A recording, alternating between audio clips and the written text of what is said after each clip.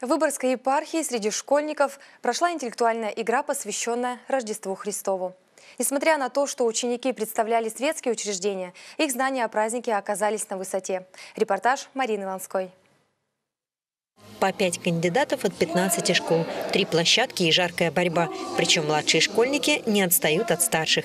Этот брейн-ринг посвящен Рождеству Христову. Он второй по счету. Первый прошел весной, его темой была Пасха. Элемент игры, он э, всегда как бы интереснее, чем сухая лекция какая-то, да, сухой какой-то урок такой, потому что, как мы знаем, да, взрослые воспринимают сколько, 15-20 минут, да, первые на, на лекции, да, а детки, конечно, тем более их надолго не хватает. Поэтому такой как бы элемент, ну, в такой подаче это более интересно, и определенное соперничество здесь есть. И, конечно, кто-то бывает грустит потом немножко, но мы стараемся так, чтобы никого не обидеть, всех порадовать какими-то подарками. Интеллектуальную игру готовили вместе епархиальный отдел религиозного образования и катехизации Выборгской епархии и местная администрация. Но идея, безусловно, принадлежит э, нашему епископу, владыке Игнатию, епископу Выборгскому и Всеволожскому. Значит, э, конечно же, отделу, епархиальному отделу образования.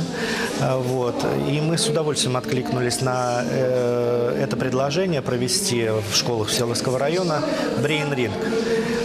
Мы после первого конкурса провели опрос, насколько интересно это детям. И мы получили буквально от всех детей положительный отклик. Вопросы к игре готовило духовенство Выборгской епархии. Некоторые из них отличались особой глубиной, другие – оригинальностью. А вот совсем простых вопросов не было. Уровень сложности вопросов нами был задан таким образом, э, исходя из опыта пасхального брейринга. Э, проведя, опять-таки, наш районный этап э, на достаточно, ну, так скажем, щадящем для детского сознания понимания уровне, мы столкнулись с тем, что в финальном конкурсе в брейринге в городе Выборге вопросы, особенно э, части ее богословского осмысления, были э, уровня, ну, так скажем, начальных классов семинарии.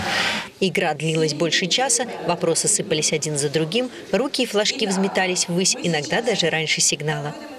Наступил трепетный момент, когда жюри подсчитывают баллы и выбирают победителя. Надо сказать, что игра была по-настоящему активной и достаточно сложной. Вопросы тоже отличались трудностью. Например, вот такой. В дореволюционной России в день Рождества Христова в храмах служился благодарственный молебен с главопреклонением. Какое историческое событие вспоминалось? Я, например, затруднилась с тем, чтобы найти правильный ответ. Но дети не растерялись и давали свои варианты. Однако правильного ответа все-таки не прозвучало. Он действительно достаточно неожиданный. Изгнание Наполеона из России. Победил лицей номер один. Все получили памятные грамоты, а выигравшие – Библии. И, конечно, кубок. Соперники не огорчены, а с достоинством поздравляют победителей. В том году тоже заняли второе место.